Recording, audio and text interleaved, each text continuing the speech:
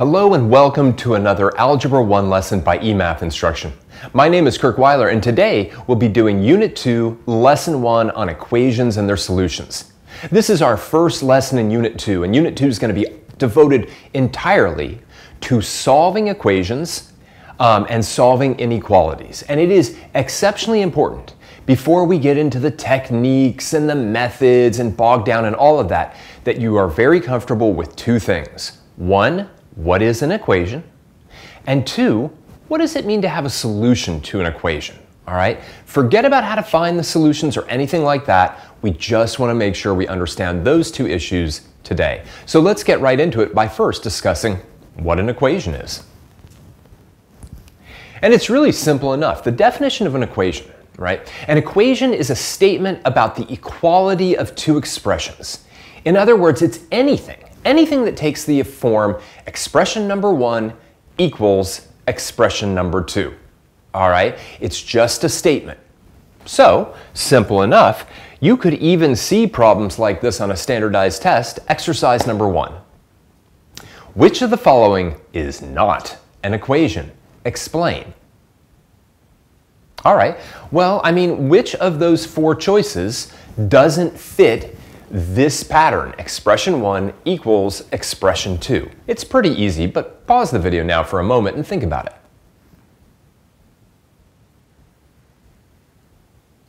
All right, well, it's simple, right?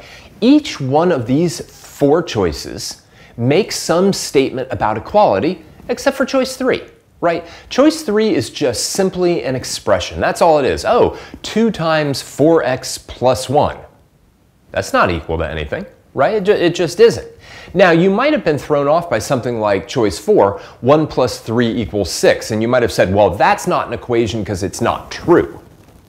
But we didn't say anything about whether the equation was true or not. An equation is just a statement, true or false, or possibly, I don't know whether it's true or false, about the equality of two things. So, this, right, is not an equation, and I guess it really boils down to there's no equal sign. Basically, that's it. All right, now let's move on from that. Now, we talk about what's called the truth value of an equation. Now, an equation can be true, like 2 plus 3 equals 5. An equation can be false, like 1 plus 3 equals 5. Or an equation could be what we call open, which means that, you know, we can't determine whether the equality is true or not. All right?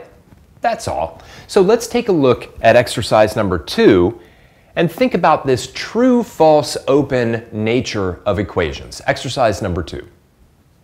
Consider the equation 2 times x minus 8 equals 10 minus x. Letter A asks us, why can't you determine whether this equation is true or false?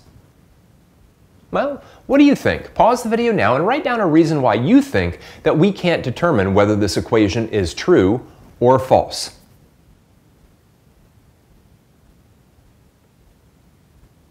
Well, it's simple. Nobody gave us a value of x.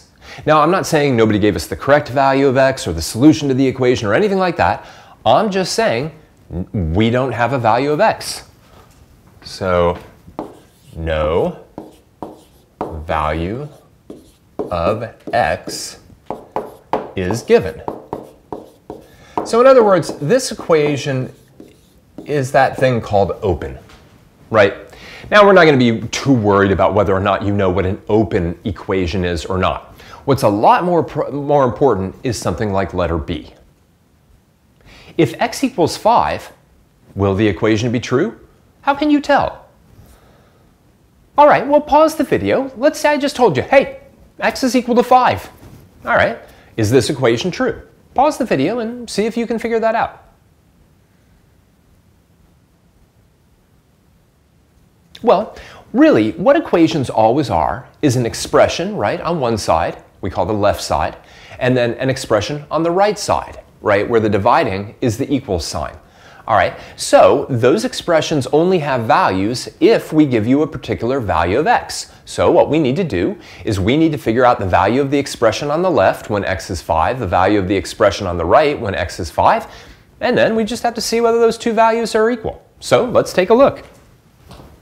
All right, here we go. On the left-hand side, right, we have 2 times 5 minus 8. We have to be careful about our order of operations. And on the right-hand side, we have 10 minus 5. This is traditionally how we do these kind of checks. Then we have 10 minus 8 on the left-hand side and just 5 on the right-hand side. And of course, 10 minus 8 is 2. We get 2 equals 5, and that now is false. Okay. So in other words, right, when x was 5, this equation has a false value. Like literally, the value of an equation can be true, false, or open. Okay? And that's different than the value of a variable, which is just sort of a number. All right, let's take a look at letter C. Show that x equals 6 makes the equation true. Remember to think very carefully always about your order of operations. All right, well, why don't you go ahead and do exactly what we just did in letter B, substitute the value of, of, x equals 6 into both sides of this expression, and hopefully you find that those two values are equal.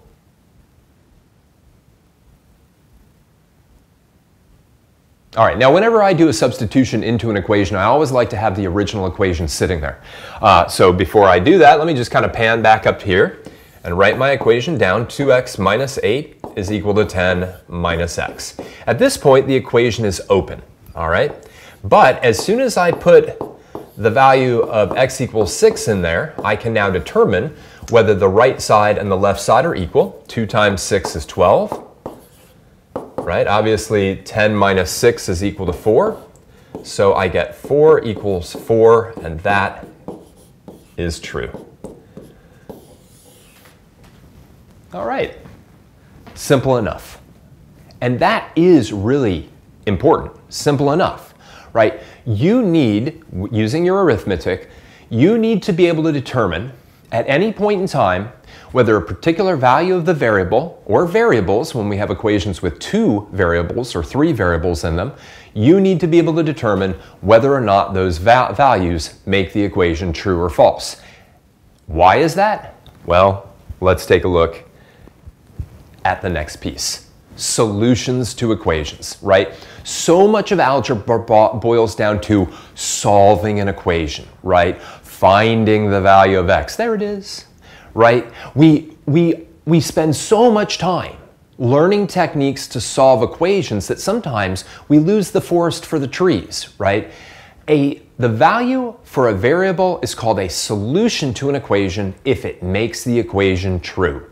End of story right? If a value of x, y, t, n, whatever makes an equation true, then it's a solution. And if it makes the equation false, it is not a solution. End of story. So let's take a look at exercise number three and incorporate this new understanding. Determine whether each of the following values for the given variable is a solution to the given equation. Show the calculations that lead to your final conclusions. All right, so this is identical to really what we did in the last two parts of that previous problem, right? We want to know whether or not if we take a particular value of each one of these variables and we substitute them into the equation and we evaluate the left side and we evaluate the right side, will they be equal? Will the equation be true? If yes, then the value that was given is a solution. If no, if it's false, then the value given is not a solution. And we must understand that before we learn any techniques in terms of finding the solutions themselves. So let's do A and B, right?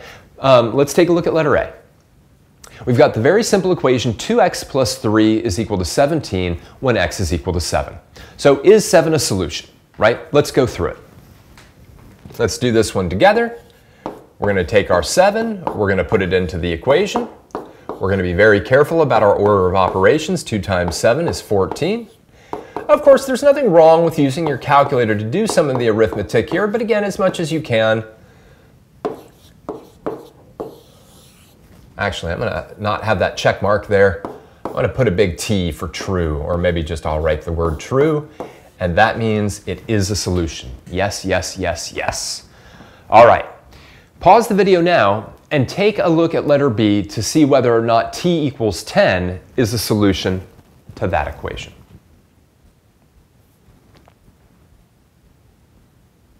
All right, well, let's do it. Of course, I left you the one that's going to have some negative numbers involved, but let's do it. So we're going to take 10.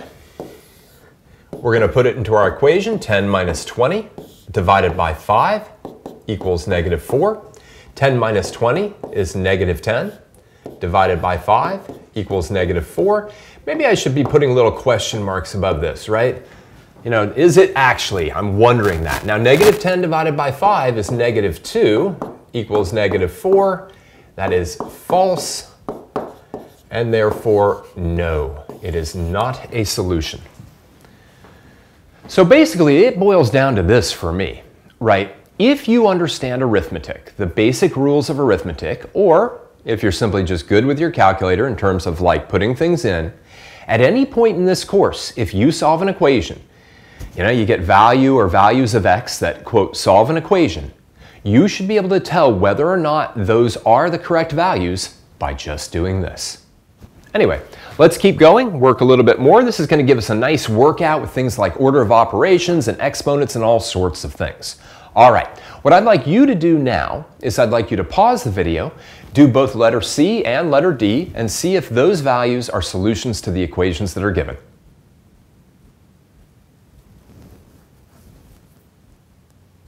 All right, really shouldn't matter how complicated the things are as long as we can do the arithmetic. So letter C, let's take a look. We're gonna see if n equals four is a solution to this equation. Here we go. I'm gonna put four in for n everywhere it occurs in the equation. It's just twice in this case, so we're gonna get two times nine is equal to six times three. 2 times 9 is 18, 6 times 3 is 18. Maybe I'll put a little question mark there, and at this point, that's true, right? And that means yes, it is a solution. But I'm going to keep emphasizing that whole true, so yes, right? Now let's take a look at letter D where we've got some exponents involved. See if you got that one right. Here we're going to have negative 1. We're going to check if that's our solution. So negative 1 squared minus 1 is equal to 2 times negative 1 plus 2. Now remember, negative 1 times negative 1 is a positive 1, right? Any number squared is actually a positive number, except for 0. Uh, 2 times negative 1 is negative 2. 1 minus 1 is 0. Negative 2 plus 2 is 0. We didn't know until that point. That's true. So again, that means the answer is yes. It is a solution. All right. Now, of course, equations can get more complicated when they start to involve things like negative numbers or when they involve fractions, but ultimately speaking, we should still be able to determine whether a particular value is a solution. So yet again, I'd like you to pause the video now and take a shot at letter E and letter F, and then we'll come back and do them together.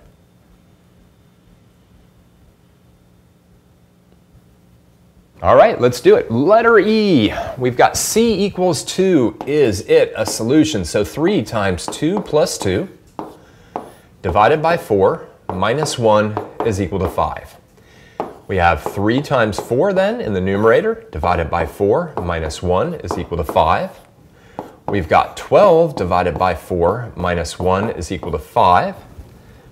Extend my page a little bit. 3 minus 1 is equal to 5. Question, question, question. 2 is equal to 5.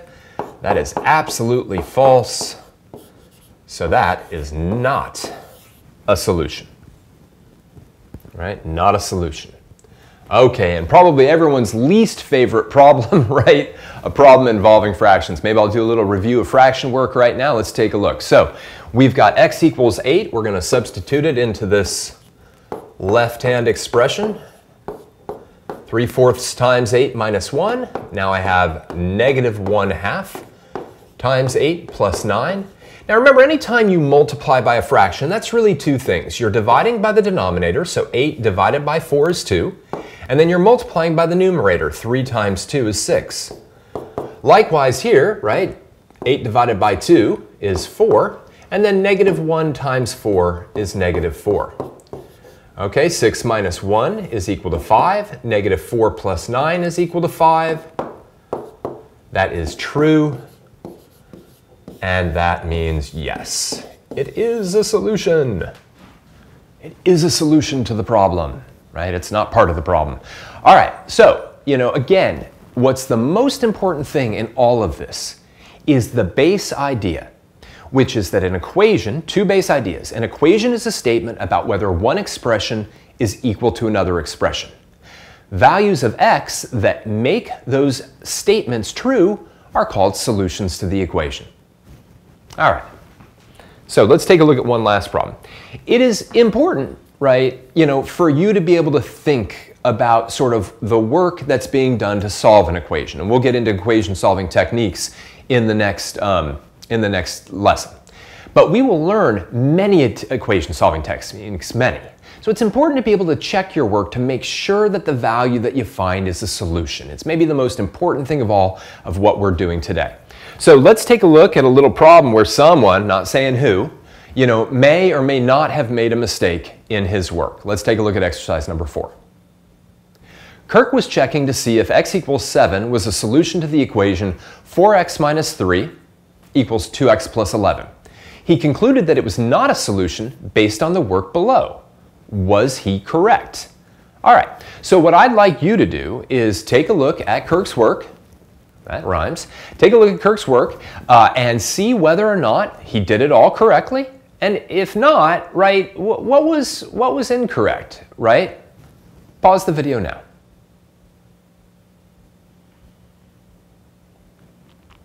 I mean, it looks kind of good, right? Here, Kirk has taken x equals 7. He's put it in for this 4. He's put it in for that 2. So he has 4 times 7 minus 3 equals 2 times 7 plus 11, right? He then does 7 minus 3 and he gets 4, and he does 7 plus 11 and he gets 18, right? Then he does 4 times 4 gets 16, 2 times 18 gets 36, and says false. This is not a solution, right? But Kirk is wrong right? And the reason that Kirk is wrong is that at this point, right, at this point in the solution, he should not be doing the subtraction and the addition first. He should be doing the multiplication first, right? So Kirk is incorrect, right? And he's incorrect because quite frankly, at the end of the day, right, if you do it correctly, right? You should be doing this multiplication first, getting 28 minus 3, doing this multiplication first, getting 14 plus 11, doing this subtraction second, getting 25, doing this addition second, and getting 25. That is true, and therefore is a solution. So Kirk botched his order of operations. Very Understandable, he hasn't been doing math for very long, right? So up here, it's very easy visually to think, oh, I'm gonna do seven minus three, seven plus 11, right? But we have to be able to spot that mistake. We wanna be able to look at other people's mathematical work and see whether they've done it correctly or incorrectly. I mean, that's half the job of a math teacher to begin with, all right? But you also wanna try to be able to do it as a math student because it will make you even better. All right, let's summarize this lesson. All right, this lesson was all about equations and their solutions. Understanding that an equation is simply a statement about the equality of two mathematical expressions. All right, that statement could be true, it could be false, or it could be just open. You know, and that's actually most of the time it's open because hey, hey, here's an equation, right? You don't know the value of x or n or t or whatever up front. It's your job to figure that out. Once you have figured out that value, then you can assess whether or not it's actually a solution to the equation by substituting it into both expressions and seeing if they're equal to each other. And if they are, it's a solution. Never forget that. That is the biggest picture of all when it comes to solving equations. We'll see that a lot more in coming lessons. For now, I just want to thank you for joining me for another Algebra 1 lesson by eMath Instruction. My name is Kirk Weiler, and until I see you again, keep thinking and keep solving problems.